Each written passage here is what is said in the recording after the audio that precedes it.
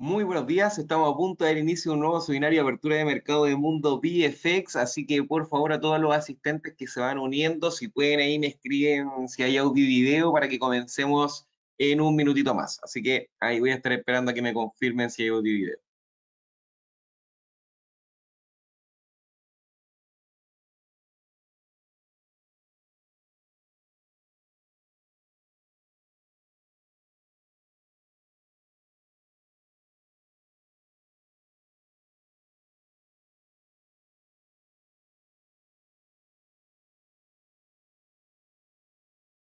Perfecto, me van confirmando entonces que hay audio y video. Vamos a esperar un minutito más a que se unan algunos asistentes y comenzamos con el seminario.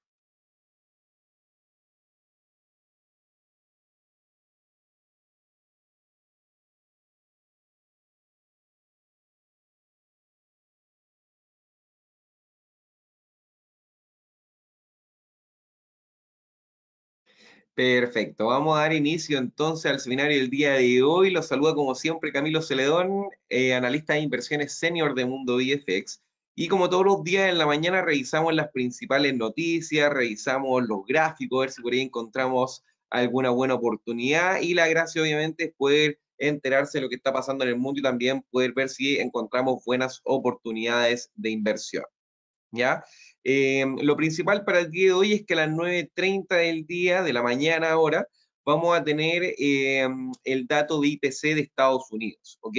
Y este dato es muy importante, ¿por qué? Porque con este dato nosotros vamos a tener una idea más o menos de lo que se viene para fin de mes. Recordemos que el día 21, si es que no me equivoco, la, la Fed tiene que decidir con cuánto va a subir su tasa de interés lo que se espera ya casi por todos los analistas es 75 puntos, pero eh, como les digo, si vemos de repente un dato IPC esperanzador, en el sentido de que veamos que en realidad está retrocediendo la inflación en Estados Unidos, podría ser que quizás la Fed eh, se, se, aleje un poquito de, de, ese sentimiento tan hawkish, de ese sentimiento tan agresivo, y veamos que quizás suba la tasa solamente 50 puntos. ¿Ok?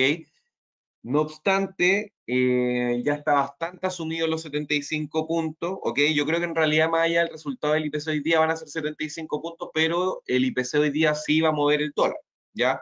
Que eso igual es importante. ¿Y eh, ¿qué, ¿qué va a pasar con el dólar? ¿Cuáles son los posibles movimientos que tenemos para él? Bueno, bastante sencillo. Si vemos un IPC sobre lo esperado, ya vamos a irnos acá al calendario para que lo puedan ver, lo que se espera es un 8.1 en el interanual. ¿Ok?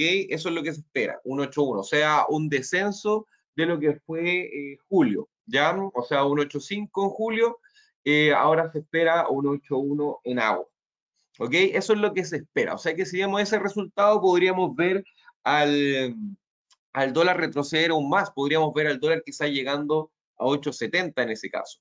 Pero si nosotros vemos que en realidad la inflación no ha retrocedido tanto como se espera, o sea que en realidad, por ejemplo, seguimos en 8.5 o estamos en 8.4, en ese caso nosotros igual veríamos el dólar apreciarse. ¿Ok? Eh, ¿Por qué se espera tanto que la inflación haya descendido? Porque ha bajado el petróleo. ¿Ok? Y recordemos que en la mayoría de los países eh, grandes, eh, el consumo de petróleo es muy grande, por ende, si el petróleo está muy caro, obviamente la inflación crece, y si el petróleo está más barato, también obviamente la inflación disminuye. Entonces, como el precio del petróleo ha disminuido más o menos como un 10% en el último tiempo, eh, por ese lado se espera que la inflación haya retrocedido un poco. ¿Ok? Sin embargo, sin embargo, yo creo que eh, estamos lejos igual de ver como un alivio en cuanto a la inflación. Yo también se los dije creo que el mes pasado, cuando en realidad la inflación no creció, se mantuvo, yo les dije que esto en realidad es una aspirina del momento, o sea, estamos viendo recién un mes bueno. Si por ejemplo este mes también sale bueno, recién veríamos dos meses buenos, ¿ok? Estamos hablando que venimos de una seguidilla de meses malos, entonces es muy probable, muy probable que eh, comencemos a ver, por ejemplo, quizás eh, meses mixtos, un mes malo, un mes bueno, un mes malo, un mes bueno, lo cual nos va a dar súper buena oportunidad de trading. Recuerden que cada vez que sale uno de estos datos, nosotros podemos aprovechar de hacer trading con este dato. ¿Ok? Así que atento acá a la inflación, a, a todos estos datitos, en realidad son todos bastante similares. Lo más probable es que salgan todos en línea, supuestamente, pero estos dos son lo más importante. ¿Ok? Así que atentos a eso.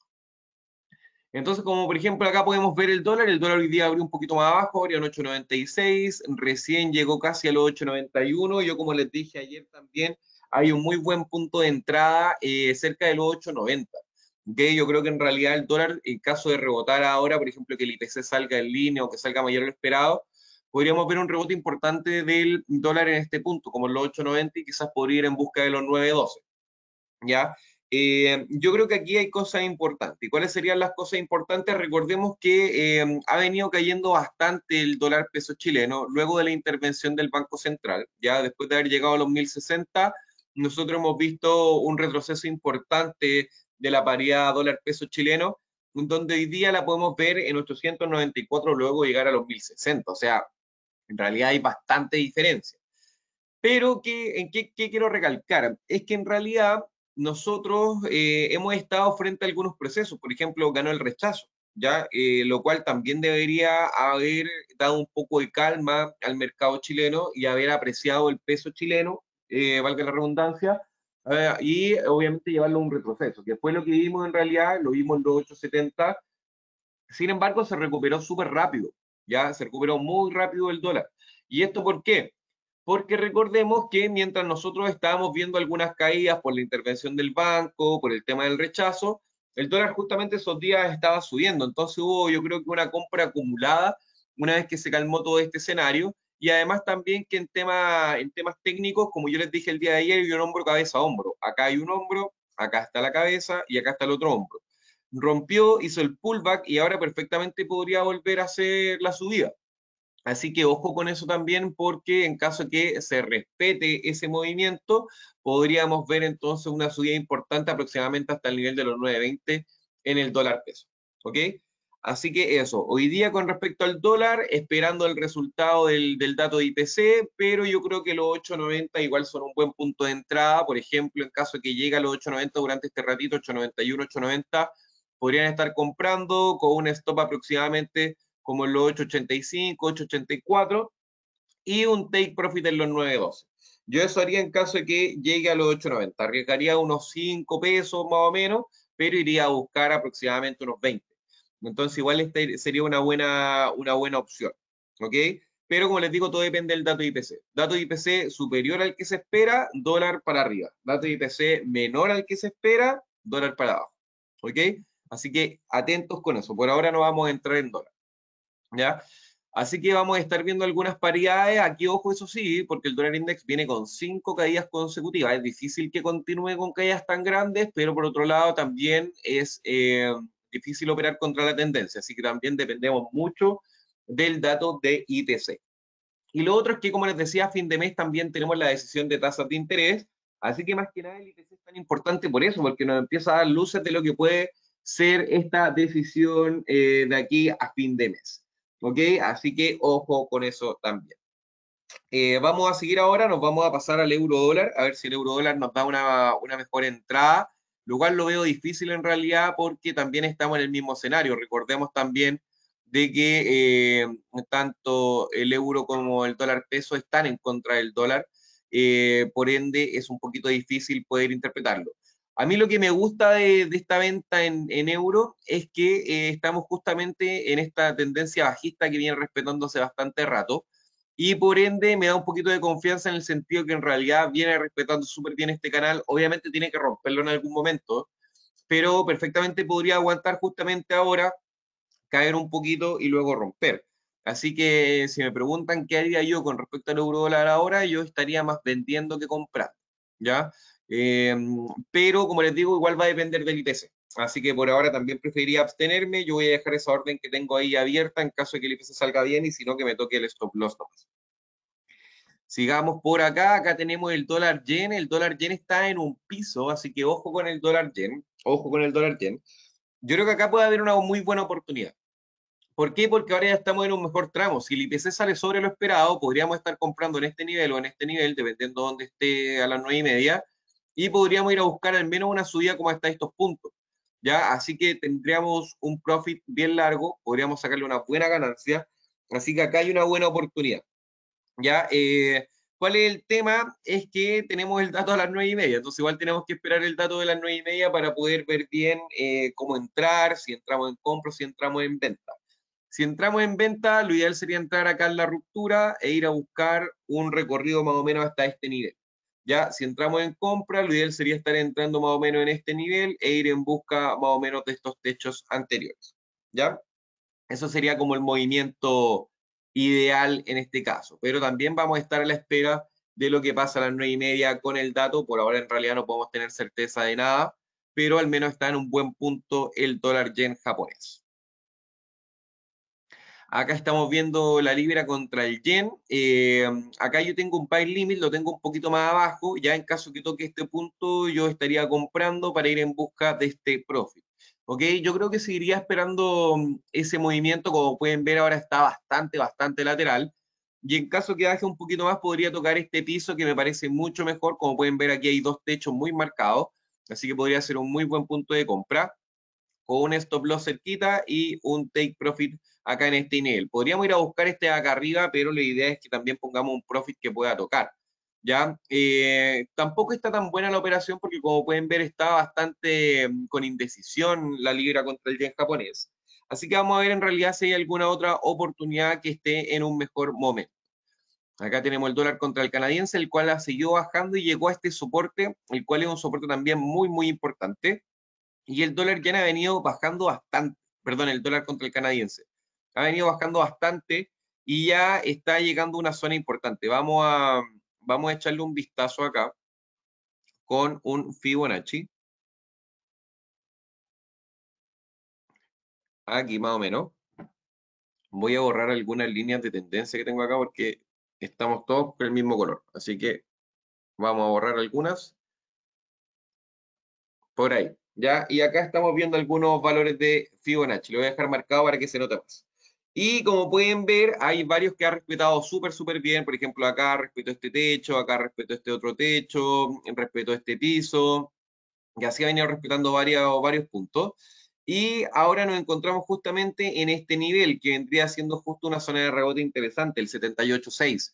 Así que igual quizás podría estar presentando algún rebote, podría estar volviendo quizá una zona más arriba, pero recordemos que también estamos a la espera del dato, ¿ya? Así que por ahora tampoco nada. Ahora, si el dato de IPC sale sobre lo esperado, también está muy bueno para una compra en canadiense, porque podríamos ir a buscar esta zona, la zona del 1.301. Entonces, esta zona igual está lejos, podríamos tomar un buen profit. Pero por ahora tampoco nada, ¿ya? Eh, les voy a dejar una simulación, por ejemplo, del dólar yen para que no nos quedemos sin ninguna oportunidad en caso que la quieran tomar. Ya recuerden, si por ejemplo el IPC sale sobre lo esperado y tenemos el dólar yen en este punto, entonces lo ideal sería estar comprando con un stop que le dé un movimiento bueno, pero lo ideal va a ser el take profit que lo pueden dejar en primera instancia en este punto, ¿ya? O en segunda instancia en este punto. Yo lo voy a dejar acá para asegurarme que lo pueda tocar, ya que va a ser el piso anterior. Y como pueden ver, me queda casi un 3 a 1, así que súper buena operación. Yo con un lote, por ejemplo, arriesgo 450 y voy a buscar 1.260.000, así que súper bien. ¿Ya? Lo ideal entonces sería estar entrando en el 141.66 con un stop loss en el 140.94 y un take profit en la zona del 143.66. Eh, Así que esta sería la operación que me quedaría en el dólar yen en caso de que toque ese punto abajito, ya que sería justamente este punto naranjo, esa podría ser una buena oportunidad entonces, ¿ya? En caso de que el IPC salga sobre lo esperado. ¿Ya? Así que sigamos viendo, acá tenemos el dólar contra el canadiense, el dólar contra el canadiense, el mismo escenario, o sea, en caso de que también llegase a salir el IPC sobre lo esperado, lo ideal sería estar comprando más o menos en este piso del 78.6 de FIBO, con un stop más o menos en este punto y un take profit en este punto, en el 61.8 de FIBO. ¿Ok?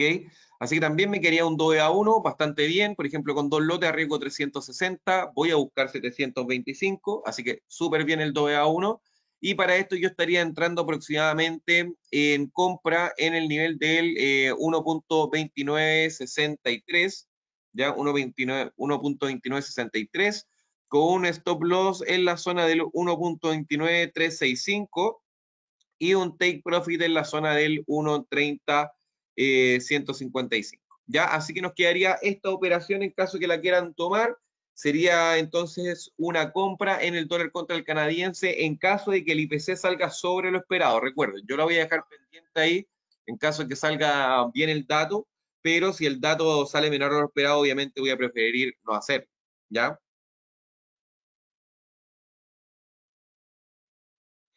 Vamos a seguir entonces por acá. Acá tenemos el canadiense contra el yen japonés, el cual también ha estado con bastante incertidumbre, como pueden ver no ha tenido ningún movimiento muy claro, ¿ya? Así que tampoco voy a entrar por acá porque no hay ningún movimiento muy agresivo que pueda dar una buena ganancia.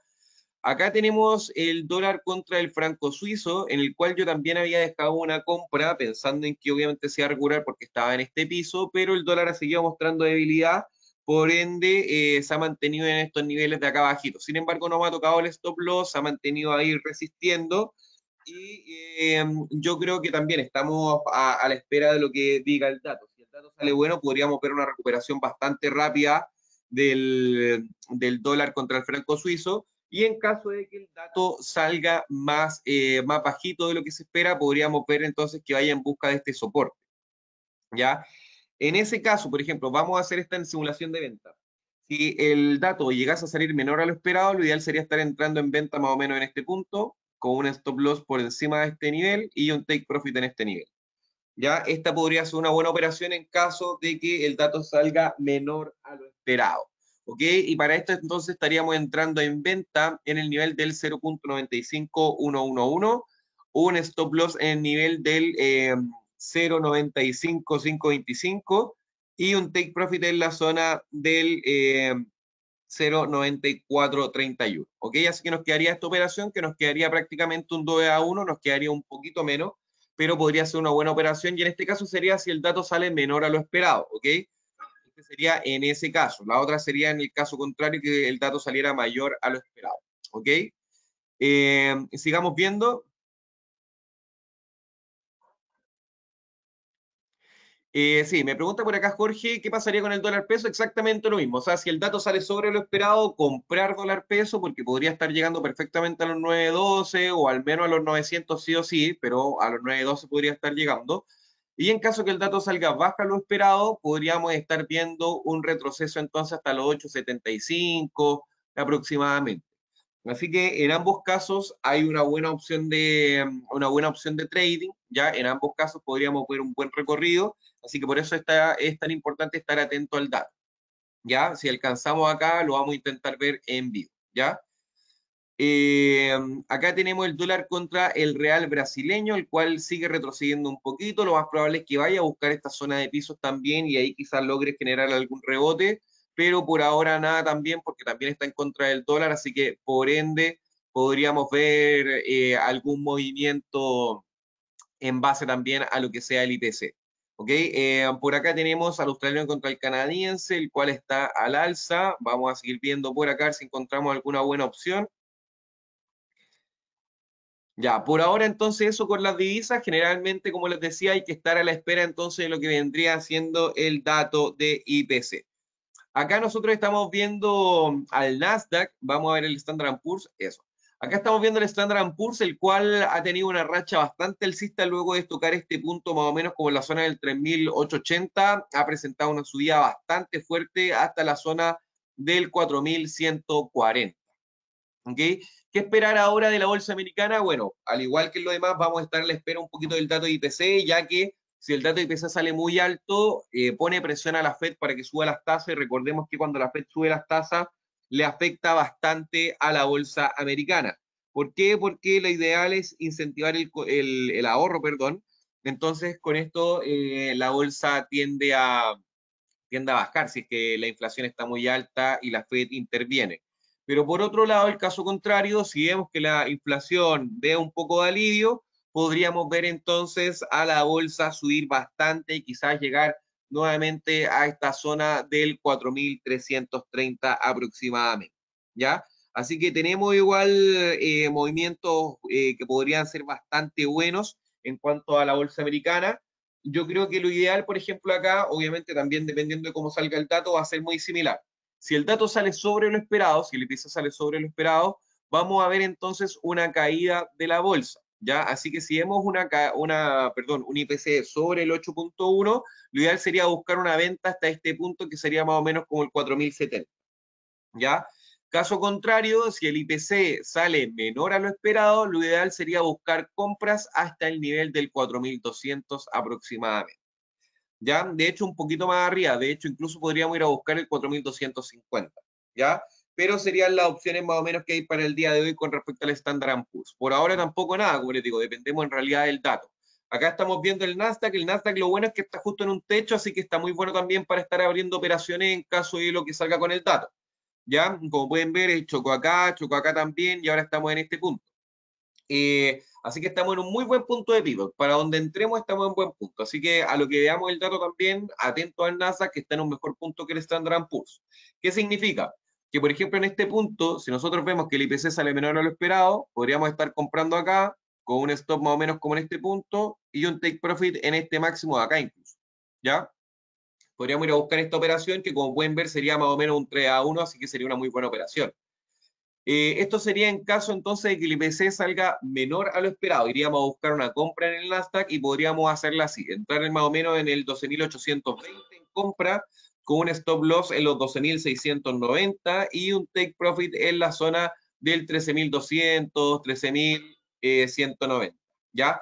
Por ahí. Así que podríamos dejar este buy limit en caso de que el IPC salga menor a lo esperado. No le voy a dar al buy limit porque lo puse en el precio actual, así que me va a abrir la operación muy rápido. Y en el caso contrario, si nosotros vemos que el IPC sale sobre lo esperado, podríamos estar comprando acá con un stop loss más o menos en este punto y un take profit aproximadamente en este nivel de acá abajo. ¿Ya? Y en este caso eh, no nos quedaría una operación tan buena, vamos a bajarlo un poquito al stop loss, nos quedaría ahí en el 13.040 aproximadamente, y nos quedaría un take profit en la zona del 12.500, ¿ya? Nos quedaría esta operación. Como pueden ver, no me alcanzaría a quedar un 2 a 1, tendríamos que ir a buscar un movimiento un poquito más agresivo, dejarlo menos stop loss, pero no quiero dejarle menos stop loss porque el mercado obviamente es muy incierto y prefiero entonces que... Eh, que, toque un buen punto, ¿ok? O sea, perdón, darle, darle un poco de espacio para que tenga volatilidad. Voy a dejar acá el, take profit en este punto acá, que sería un mínimo que había alcanzado. Y en este caso sí me alcanza a quedar un 2 a 1, de hecho me alcanza justito.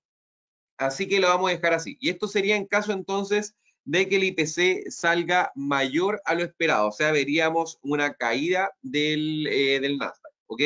Y para esto entonces iríamos a buscar una venta aproximadamente en la zona del 12.830, ¿ya? Eh, con un stop loss en la zona del 13.037 eh, eh, y un take profit en la zona del 12.410. ¿Ok? Iríamos a buscar esta operación entonces, nos quedaría un 2 a 1, así que también podría ser una muy buena operación. ¿Ya? Así que esto sería en caso de que el IPS salga mayor a lo esperado. Vamos a seguir entonces, vamos a ver algunas otras opciones. Eh, acá, por ejemplo, tenemos también el DAX, ya que el DAX también ha estado mostrando muy buenas subidas y también está llegando a una zona donde hay algunos techos, hay algunos mínimos, así que también podríamos estar viendo quizás algún cambio en la tendencia, ¿ya? Así que ojo también. Yo por ahora preferiría jugármela más con el Nasdaq porque está en un mejor punto. Eh, siento que los demás, si bien están en punto agradable, el Nasdaq estaba justamente en un techo. Así que yo creo que en realidad es el que se ve más favorecido con esto y preferiría yo eh, hacer una operación entonces, como les digo, en el Nasdaq en vez del Standard Poor's y el DAX. ¿Ya? ¿Por qué? Porque el punto es mejor. O sea, está en un punto de rebote mucho más importante y por ende podría eh, efectuar mucho mejor el movimiento. ¿Ya? Eh, acá sigamos viendo entonces, tenemos el IBEX. El IBEX ha seguido subiendo bastante bien, ha estado recuperando muchos niveles. De hecho, yo el otro día tiré este, este Fibonacci para que ustedes pudieran ver un poco cómo se estaba comportando y ha estado rompiendo niveles muy fuertes. Y que lo bueno es que igual ha estado respetando el FIBO, como ustedes ven, aquí subió, subió, subió, frenó aquí, le costó, aquí también intentó frenar, hizo un pullback, lo cual también generó un poquito de respeto por este nivel, y ahora ha seguido subiendo. ¿Ya? Eh, yo creo que este punto, el del 38, es importante porque estamos justo ahora también resistiendo mucho más. De hecho, si se fijan aquí resistió un ratito, ahora viene con mucha más fuerza también vendedora, no le ha costado, o sea, no, no ha sido tan fácil subir. Así que eh, por ahora, atentos con el IEX que podría quizás generar algún rebote en el 38.2. ¿Ya? Eh, sigamos viendo. Vamos a ver cómo está el VIX. El VIX también acá recuperando. Como pueden ver, hay una especie de tendencia alcista también acá en, velas diarias, lo cual también nos explica que ha estado incrementando un poquito la incertidumbre en el mercado.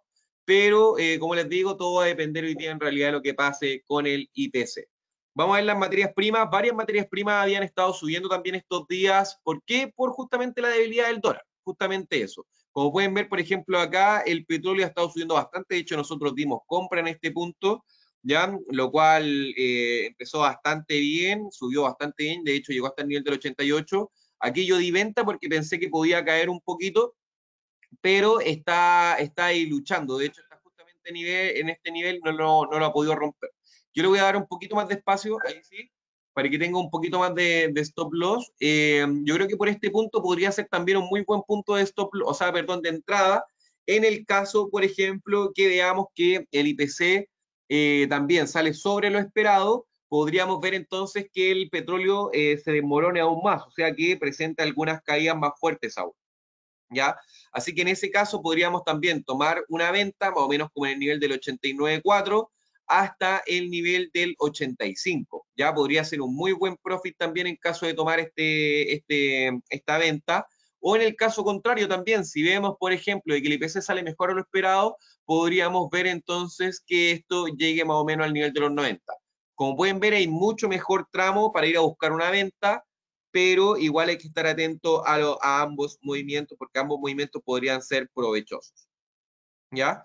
Eh, sigamos viendo entonces cómo se está comportando el oro. El oro durante la mañana estuvo subiendo un poquito, pero ahora se está frenando. Está justo en este nivel que a mí me parece un nivel muy interesante, que es el nivel de los 1008, o sea, perdón, de los 1730, en donde de hecho yo veo muy buenas ventas.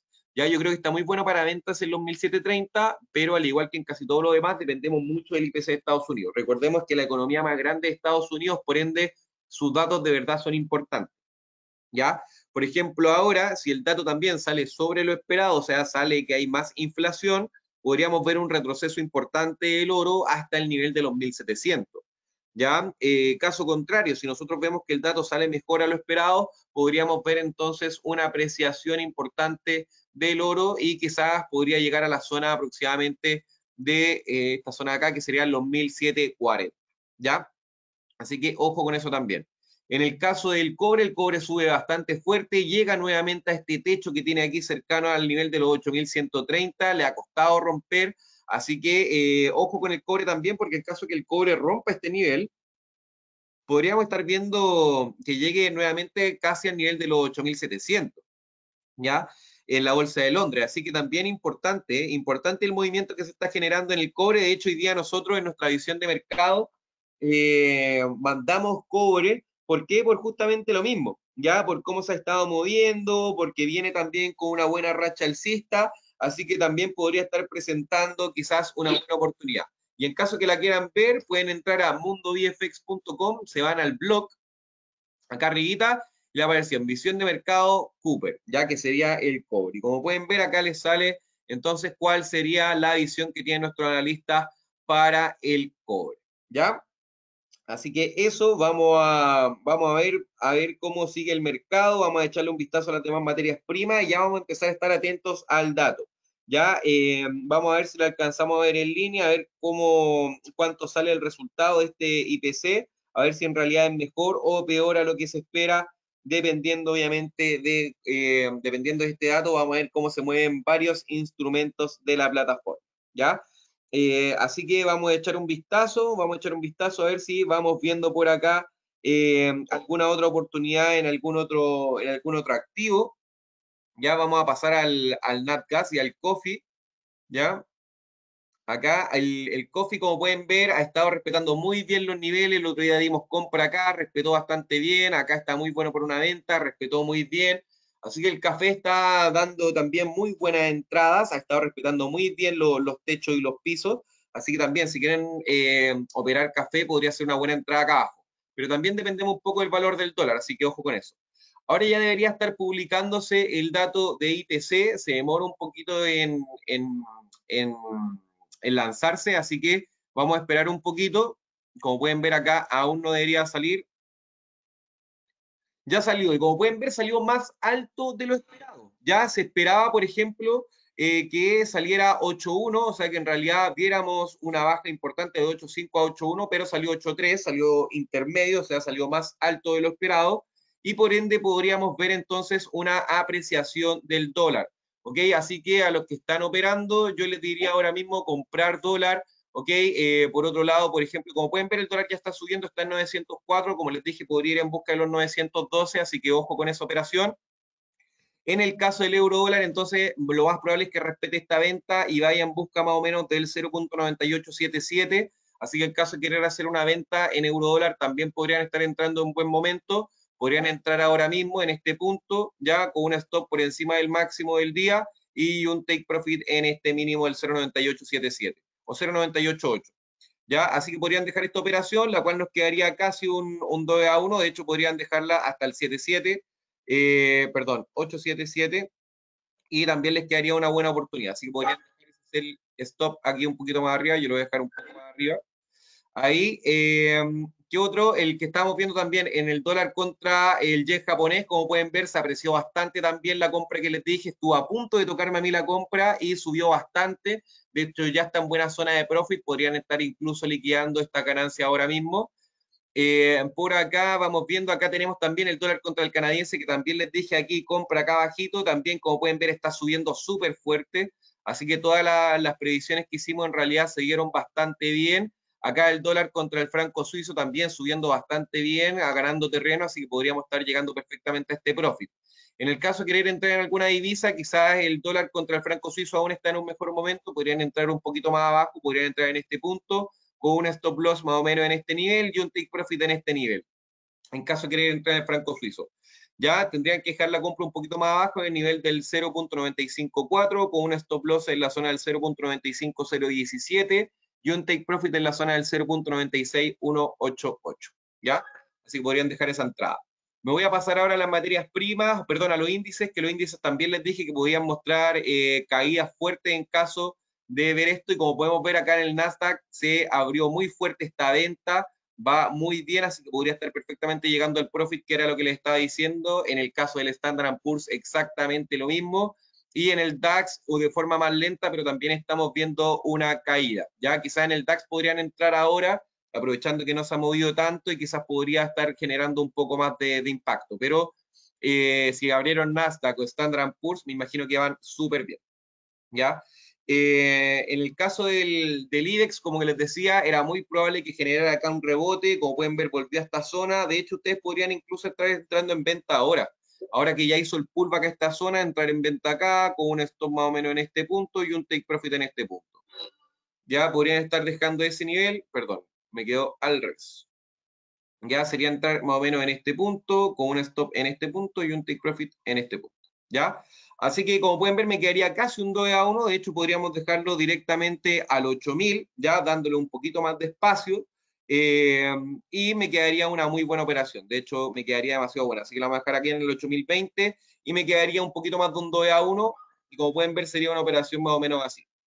Ya, voy a dejar este take profit un poquito antes, ahí en el millón, y mi stop loss súper bien, así que dejaría esta operación yo en el caso del IBEX, esperando también que corrija bastante. ¿ya? Así que eso por ahora, chicos. Espero que tengan una excelente jornada de trading. Espero que hayan aprovechado el dato y como pueden ver, estos datos son muy buenos para operar. Ya acá, como pudimos ver, nosotros dejamos varias órdenes que estaban tanto a favor como en contra de, la operación. Y apenas salió el dato, yo les tenía que explicar, obviamente, los demás, los demás instrumentos.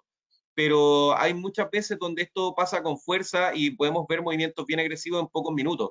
Por ejemplo, en pocos minutos el dólar pasó de los 8.92 a los 904, o sea, 12 pesos al alza de un minuto a otro. Entonces, de repente, si ustedes no pueden estar siempre atentos al trading, al mercado, a estar analizando, métanse de vez en cuando, vean el calendario y vean todas las noticias que tienen tres puntitos rojos.